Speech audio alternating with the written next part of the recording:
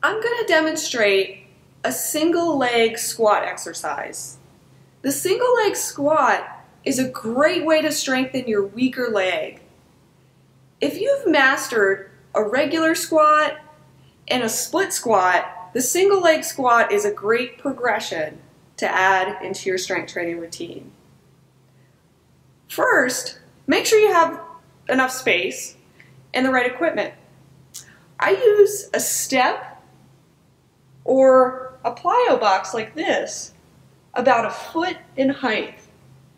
You can also use a Bosu ball.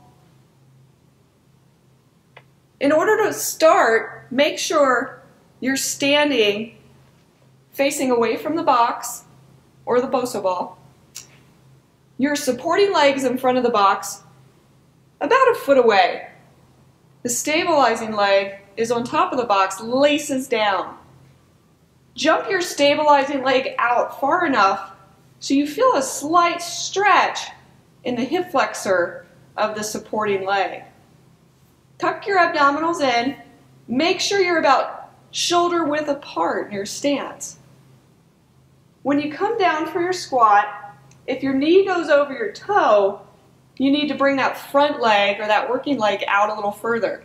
So do this by jumping out a little bit each time to make sure you have the right position.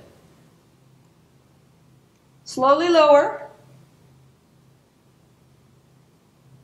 Make sure, again, the laces are down on that back leg and the weight is on the heel of the foot of the working leg.